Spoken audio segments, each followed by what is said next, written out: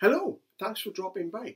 I'm Colin R. Parsons, I'm a children's author, and I'm running this video um, with the theme of steampunk. Wow, what is steampunk? Well, I've got a, a publisher called Crystal Peake Publishers. They're bringing out my new book in October called The Gamer, which um, is, a, is a book set in a, an old gaming arcade, but they're also set in a competition.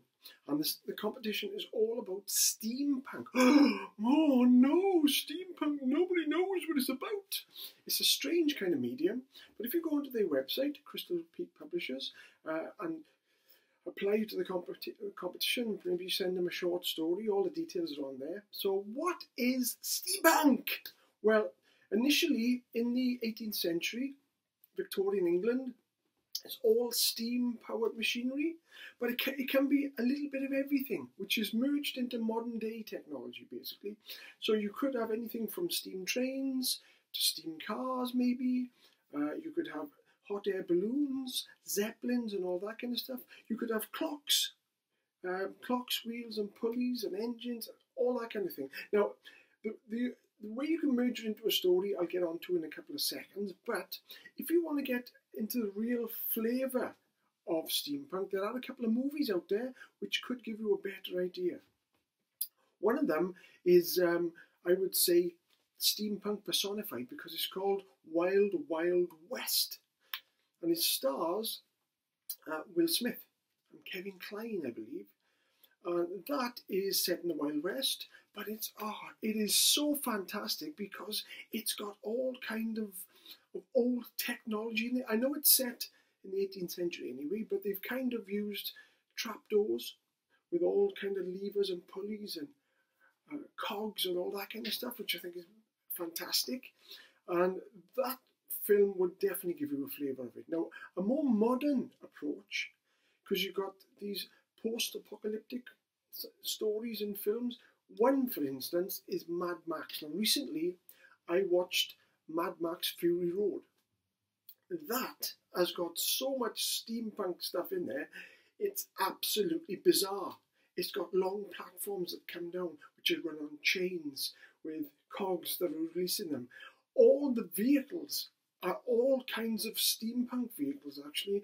You know, big wheels with spikes coming out of them. Um, they've got big levers to change the gears. They've got flames shooting out of everywhere.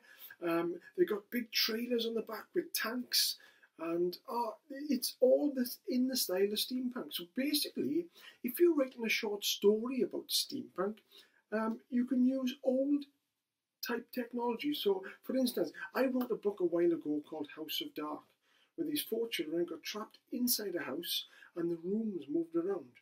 In the centre of the house I placed the most ginormous clock. Now, if you can imagine a huge clock and what the in the innards of a clock with all the, the massive cogs and the uh, the pendulums and all that kind of stuff, and this is the heart of steampunk. There's even fashion. If I check this on, this is kind of steampunk, but you can get top hats, you can get canes to walk down the street, handlebar moustaches. See, all the old style thing. Uh, pocket watches. Uh, ladies can wear like long dresses with bustles on and uh, like shorter top hats and maybe a pipe. It's anything or anything you want actually. So steampunk covers a lot of stuff. So if you want to base a story on it, you could actually. Um, I'm just thinking myself uh, you could uh, you could have a load of zeppelins. Now, I, I, read a book a long time ago called Airborn, where everybody was transported with zeppelins. Well, you know, like big airships. Well, you could use airships, and you could have attacking pirates and that kind of thing. Um, you could use, do, do, you know, like the uh, the Nautilus with Captain Nemo? That's kind of steampunk as well, because you've got the Nautilus, which is this big ship in the shape of like a big shark or something, and then or a monster's face on the front, and then it disappears underwater like a submarine. And there's all pulleys and wheels and monsters uh, under the sea. So you can have that kind of scenario. The monster under the sea. You can have monsters in the air. You can have um, a post-apocalyptic kind of world where technology and everything is run down. Uh, everything's turned to dust. The cities are empty. There's um, post-apocalyptic, like a zombie kind of world.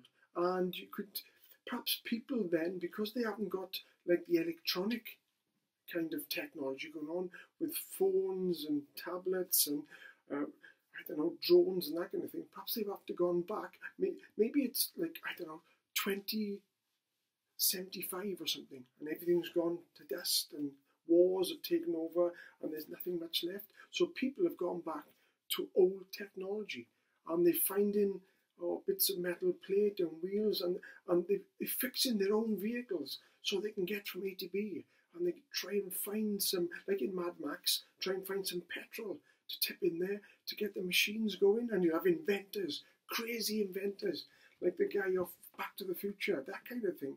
So you could you could create um, dark characters dressed in weird clothes. You could have uh, heroes who are trying to save the day, but with old technology. Maybe you could have, I don't know, somebody riding a horse in like the Wild West, but instead of um, a normal horse, it could be stainless steel and it could float above, above the ground.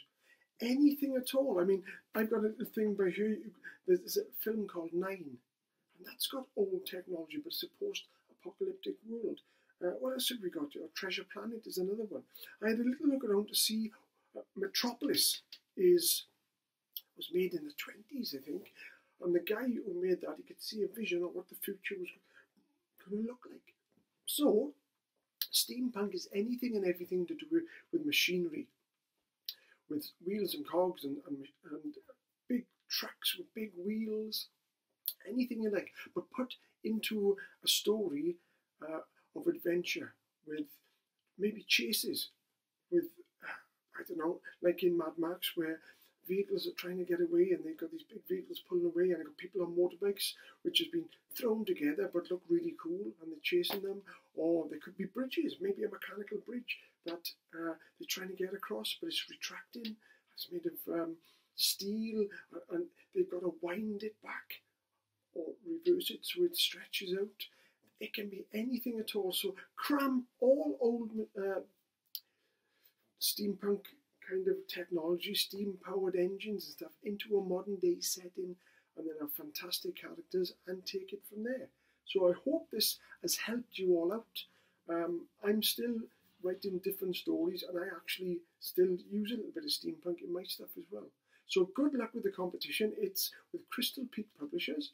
Um, go onto their website and it's a steampunk competition. I think the deadline is Halloween around there. So check it out, send a story off, and I'll see you soon. Bye for now.